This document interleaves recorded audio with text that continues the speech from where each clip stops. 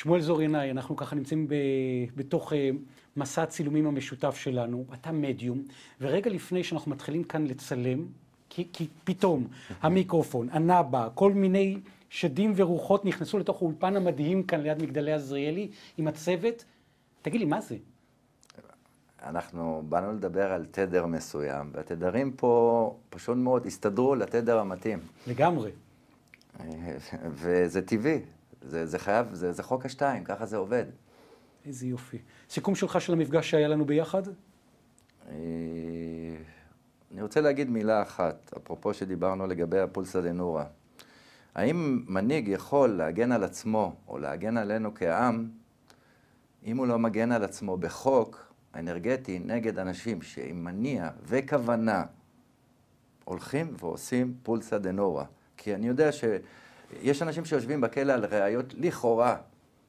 אז על אחת כמה וכמה שאנחנו יודעים שיש בן אדם או קבוצה עם מניע וכוונה, וגם אומרים את זה בתקשורת, בכל ההיסטוריות זה היה אסור.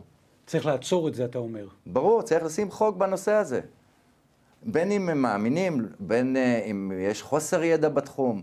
אתה בא ואומר, מעבר ליכולת שלך להילחם, לנטרל כמדיום וכולי, אתה בא ואומר, המדינה או ראש מדינה צריך גם להגן על עצמו כשבאים לכלותו. ברור. שמואל זור ינאי, תודה לך על התובנה הזאת, ותודה רבה לכם שאתם ככה מציצים מאחורי הקלעים של אה, האולפן של קונטנט נאו TV. תודה רבה.